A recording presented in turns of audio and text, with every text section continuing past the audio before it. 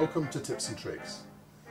We're going to make a fishing bait today that's going to save you money, catches carp and tench, all sorts of other fish. It's an idea I come up with a couple of years ago, shared it with my friends, and it works very well. First of all, let's get the kettle on. These baits are called pop-ups, and we fish them on hair rigs, but more about hair rigs later. Let's assemble the ingredients. Firstly, we need some jelly mix. We've got a strawberry flavour, which I've used in the past, and that's always worked for me. You can try other flavours. And dog biscuits from the pet shop. This is far too much. You won't need half of this. Probably the most important thing is to select a medium-sized bowl and make sure it fits in the fridge, because you're going to have to put it in there afterwards to cool down. So let's make the mixture. I've already measured out a pint of water and put it in the kettle. We get the jelly mix. The jelly needs to be a strong mixture. The theory is that the biscuits absorb the mix.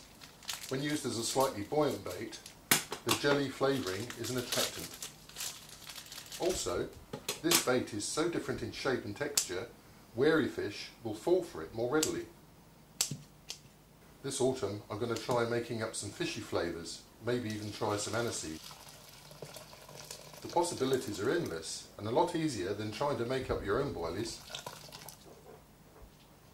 I'll be dividing this quantity into four. I'll take one pouch tomorrow and freeze the rest for another day. They keep very well in the freezer. So we've cut up the jelly pack, put it into the bowl, pour it on the hot water. Now we give it a stir all the pieces of jelly have dissolved, we can add the dog biscuits.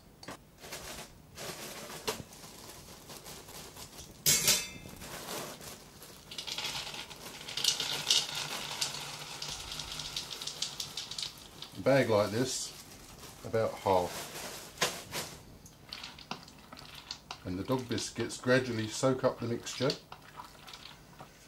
We put it into the fridge when it's cooled down and the dog biscuits are absorbed into the jelly and it comes out in one big lump.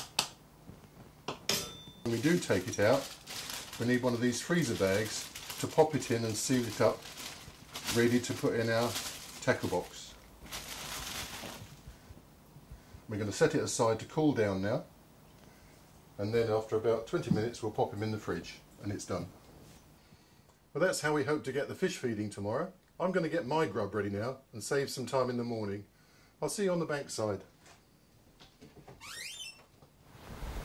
Well this is the big test on the lakeside. We've got uh, our strawberry flavoured dog biscuits and we've caught two 8 pounders this morning and a 5 pounder just on these pop-ups. Here's the strawberry pop-ups we made last night in the kitchen. It's got strawberry jelly, as you've seen, nicely absorbed into the dog biscuit, but it's solidified in the fridge and it's kept in the freezer bag to stop attracting wasps and other nasties. First, get your baiting needle. It doesn't have to be sharp. Just push it into the dog biscuit that's nice and soft. Pick up the loop of the hair and pull it off the needle. then all you have to do to finish off is insert a boilie stop into the end of the loop. Instead of a boilie stop I use a small piece of spaghetti. In the water the piece of spaghetti softens up. You simply push the spaghetti through the loop and then break it off at the right length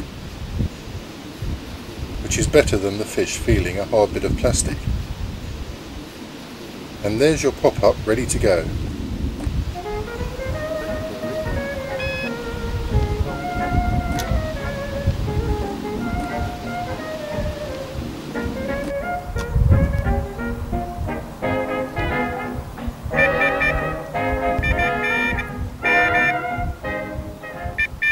We ended up with a good catch this day. When nothing else seems to work, a homemade strawberry pop-up will be worth a try. It only costs you a few quid. Tight lines, I hope you give this a try and look out for some more tips and tricks.